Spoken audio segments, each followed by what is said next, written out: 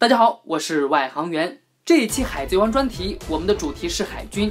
在以绝对正义为名的众新旧海军将领中，我们一共罗列出了十位海军和大家详谈。另外，海军本部前元帅、现任世界政府的统帅钢骨空，还有一直未露面的现海军三大将之一的绿牛。由于能够掌握的信息不多，在这里我们只提及一下。好了，进入正题。十大海军第十位，科比。科比是海贼王里出场比较早的人物，在被路飞救下以后，他一路的成长可以说是非常的励志。科比现在不但会了六式，见闻色霸气也是颇有建树。顶上之战之后，他更是晋升为上校，已经成为了新世代海军的代表人物之一。相信凭借他的理想和努力，以及自身见闻色霸气的卓越天赋，在卡普的栽培下，有朝一日一定能如愿成为像战国那样的智将型大将。第九位，烟鬼斯摩格。烟鬼是一个十分豪气的海军，虽然他无视高层、不守规矩，但却十分有原则和正义感。我们认为，在海军里，烟鬼在善恶之间的拿捏和处理是做得非常好的角色之一。简而言之呢，就是利用职权不择手段的执行符合道义的正义。在他眼里，海军和政府的尊严不算什么，内心的抉择才是至上的。烟鬼的眼光也是非常不错的。要知道，他一直在追捕的对象可是未来要成为海贼王的男人。第八位，鹤，海军本部中将，外号大参谋。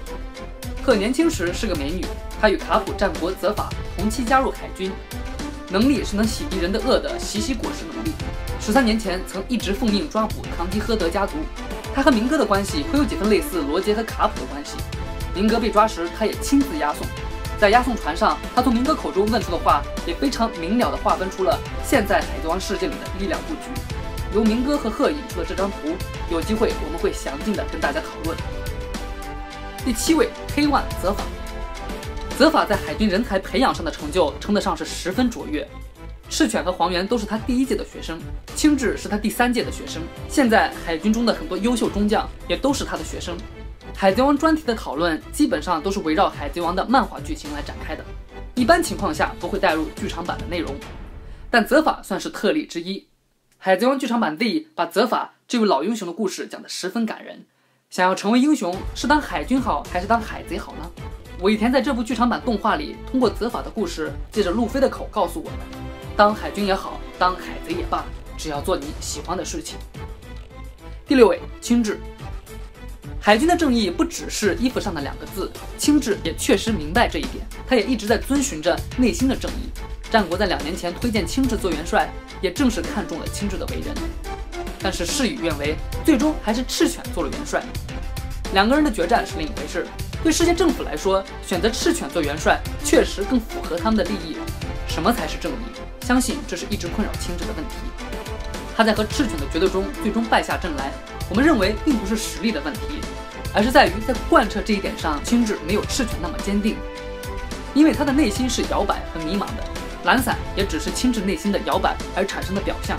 他加入黑胡子海贼团可以说是一个令人非常意外的举措。难道青雉真的变了？当然不是。在他从明哥那里救下烟鬼的时候，也曾对烟鬼说过，他还是原来的那个他。那青雉为什么要这么做呢？我们以后会具体的跟大家分析。有的时候站在事物的相反面，反而能帮助你更接近真相。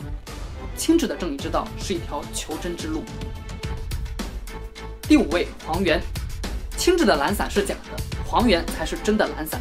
这位大叔是一个实力强劲的老油条。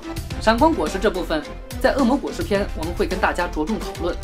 如果说青雉是亲民和平派，赤犬是集权强硬派，那么黄猿就是老油条中立派，政治环境的生存主义者，不拔尖也不落后，对青雉和赤犬的大将之争也完全没有兴趣，并不是因为这个大叔的实力不济，而是他根本没有这个意愿要当什么元帅，因为元帅要担更多的责任。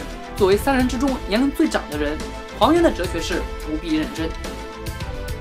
第四位赤犬。为了贯彻正义，不惜牺牲小部分人的性命，这就是赤犬的决绝正义。有的人赞同他，更有很多人恨他。在顶上之战杀死艾斯，打伤白胡子，这是大部分人恨他的原因。世界政府之所以选择赤犬做海军元帅，也是认为赤犬的决绝做派能够更好的保护他们的利益。但我们认为赤犬和世界政府绝对不是一边的，因为赤犬最终要维护的是绝对的正义秩序。而不是某小部分住在圣玛利亚的人的利益，他也是不畏强权的。直接跟五老星叫板是一个很好的例子。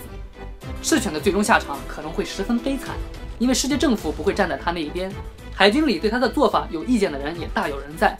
对民众来说，赤犬也是不得人心，而对于海贼来说，更是恨不得得而诛之。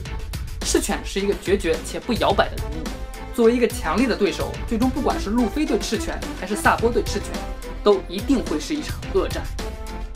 第三位，藤虎。现在赤犬在海军中掌权，黄猿在派别上支持赤犬，绿牛的立场不得而知。唯有藤虎能够明确地站在民众的角度来处理问题。作为两年后的新任大将，我们觉得藤虎从亲民这一点上面，很好的继承了亲制。从民间征兵而来的藤虎，也更遵从自己内心的民意。他的目的是废除王下七武海制度。从他有意帮助路飞对决明哥，到对鸟笼采取应对不解决的方式。以及到最后帮助路飞一伙逃跑，这一切都能看出藤虎在处理问题上，既具备了像科比、烟鬼这样的新时代海军心系仁义和民众的精神，又颇具手段和智慧。第二位，战国，作为一个智将，在顶上之战，他命令赤犬去散布谣言，成功离间了白胡子和其部下，令白胡子在战争一开始就受了伤。而不同于赤犬明确的鹰派作风，战国属于典型的鸽派作风。这也是为什么他会推荐同是鸽派作风的亲至当元帅，而在顶上之战最后，他接受了红发的面子，宣布结束战争，是属于十分顾全大局的角色。从实力上来说，战国也是绝对的超局。恶魔果实篇我们会继续跟大家讨论他的幻兽系果实。第一位，铁拳卡普。作为罗杰一生的敌人，卡普曾数度将海贼王罗杰逼入绝境，在海军中是绝对的传奇人物，因而被誉为海军英雄，也被世间称为铁拳卡普。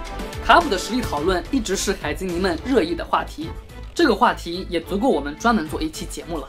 这一期关于卡普，我们要讨论的是另一个有趣的问题，那就是世界政府和五老星为什么到现在都不抓住身为未来海贼王的爷爷和要推翻世界政府的革命家领袖的父亲卡普呢？我们总结出了三个理由：第一，抓住了卡普，并不会阻止路飞和龙的行径，反而会加剧他们和世界政府的矛盾。路飞肯定会再大闹一次来搭救爷爷，他上一次救哥哥艾斯闹得可不是一般的凶啊！以路飞海贼团现在的阵容来说，威胁度也实在不容世界政府小视。而龙的革命家队伍也会更加推进破坏世界政府的进程。当然，他们本来就是要推翻世界政府的。第二，卡普是海军的英雄。在海军和民众中都有极高的威望，可以说是海军和政府的一面旗帜。抓了自己的旗帜型人物，无异于打自己的脸。世界政府没有理由这么做。第三，卡普的拳头太硬了。这个理由虽然看上去有点无理取闹，但在海贼王世界里却是有合理性的。试问，即便是世界政府真是黑了心要抓他，那谁又有这个本事抓得住铁拳卡普呢？好了，这一期就是这么多，感谢大家的关注，我是外行员。海贼王专题，我们下期再见。